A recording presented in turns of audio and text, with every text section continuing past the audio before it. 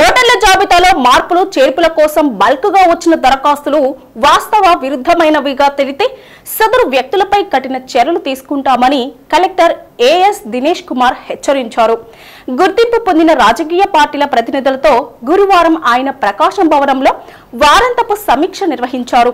జిల్లాలో రెండు వందల పదిహేడు మంది మూడు వేల ఎనభై ఆరు దరఖాస్తులను సమర్పించారని వీటిపైన ఈఆర్ఓలతో విచారణ జరిపించి రెండు రోజుల్లో నివేదిక తెప్పించుకుంటామని అన్నారు.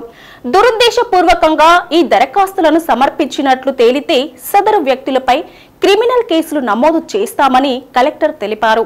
ఈ నెల తొమ్మిదవ తేదీ వరకు వచ్చిన దరఖాస్తులలో మన జిల్లాలో కేవలం తొమ్మిది వందల ఎనభై రెండు మాత్రమే పెండింగ్లో ఉన్నాయని సాంకేతిక సమస్యల వల్ల వీటి పరిష్కారంలో జాప్యం జరిగిందని అన్నారు. ఈ విషయంలో ఎన్నికల కమిషన్ నుంచి స్పష్టత కోరినట్లు చెప్పారు. ఫైనల్ జాబితాను జనవరి ఇరవై రెండున పబ్లిష్ చేస్తామని కలెక్టర్ చెప్పారు. ఈ సమావేశంలో DRO R Srilatha Markapuram sub collector Rahul Meena గుర్తింపు పొందిన రాజకీయ పార్టీల ప్రతినిధులు దామరాజు క్రాంతి కుమార్ స్వరూప రసూల్ గుర్రం సత్యనారాయణ బి రాజశేఖర్ రఘురాం ఎన్నికల విభాగ సూపరింటెండెంట్ శ్రీనివాసరావు ఇతర అధికారులు పాల్గొన్నారు. నైన్ ట్వెల్వ్ వరకు ఏమేమి రిసీవ్ చేశాము అప్లికేషన్స్ మాత్రం కాకుండా PSC and DSCs PSC two అంటే సెకండ్ ఫేజ్లో పిఎస్సి పెట్టడం జరిగింది. ఫోటోగ్రఫీకి సిమిలర్ ఎంట్రీస్ అది కంప్లీట్ చేయడానికి కూడా అడిషనల్ టైం కావాలి. Any many of the states అడిగిన వలన ఈ ఈ ఈ పీరియడ్ ఎక్స్టెండ్ చేశారు. బట్ ఇది ఎక్స్టెండ్ చేసినది only for completion of pending forms so వస్తుందిగా నైన్ నైన్ ట్వెల్వ్ వరకు ఏమేమి ఫార్మ్స్ తీసుకున్నామో దాన్ని కంప్లీట్ చేయడానికి. So we cannot accept new forms so though ఈ కంటిన్యూస్ అప్డేషన్స్ కింద ఈ ఫార్మ్స్ అన్ని కూడా ఈ deletion I mean before election notifications ఈ మూడు ఫార్మ్స్ కూడా మనం చేసుకోవచ్చు which will come as supplements so ఆ పర్టికులర్ ఈ డేట్ అందరికీ కూడా కింద స్థాయిలో ఆల్ బిఎల్ఓస్ లెవెల్లో బిఎల్ఏస్ లెవెల్లో ఇది కొంచెం uh, పబ్లిసైజ్ చేయండి. సో దట్ పొలిటికల్ పార్టీస్ ముఖ్యంగా ఎక్కడెక్కడ వాళ్ళు చెప్పిన విషయాలు డూప్లికేట్స్ కానీ డెత్ కానీ షిఫ్టెడ్ కానీ వాళ్ళు ఇంకా అప్డేట్ చేయలేదు దానికి టైం సరిగా పోలేదు ఇది చెప్పిన విషయాలు ఈ టైం లోపల మనం కంప్లీట్ చేసుకోవచ్చు. ఓకే సో అదర్వైజ్ ఆల్సో ఇది మెయిన్ మదర్ రోల్ రాకుండా సప్లిమెంటరీ రోల్ ఖచ్చితంగా వస్తాయి మనం చేసిన పని.